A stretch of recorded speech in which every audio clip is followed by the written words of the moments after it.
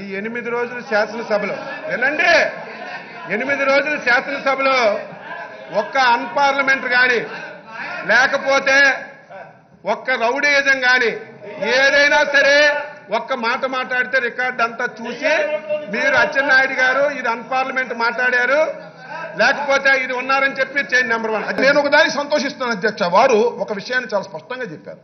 నేను ఎనిమిది రోజుల్లో ఎప్పుడైనా నేను తప్పుగా అన్పార్లమెంటరీగా మాట్లాడానా సభాష్ ఎనిమిది రోజుల్లో వారు మాట ఏమన్నారండి నేను ఎప్పుడైనా ఈ సభలో గతసారి కానీ ఇప్పుడు కానీ ఎప్పుడైనా నేను మాట్లాడాను అల్లా ఎనిమిది రోజులు మాత్రం నేను మాట్లాడాను అన్న.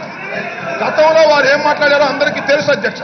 నేనేమంటా అంటే మీరు ఇచ్చినటువంటి నేను నేను ఒక్కటే ప్రధాన ప్రతిపక్షాన్ని సభ్యుల్ని నేను ఒక్కటే కోరుతున్నాను అధ్యక్ష.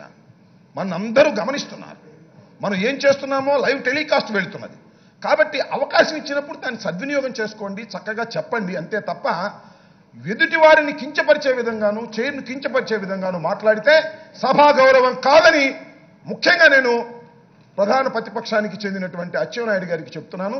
మీరు చక్కగా ప్రవర్తించారు ప్రవర్తించండి. గతంలో కన్నా మెరుగ్గా ప్రవర్తిస్తున్నారు. ఎందుకు ప్రవర్తిస్తున్నారో కూడా మాకు తెలుసు.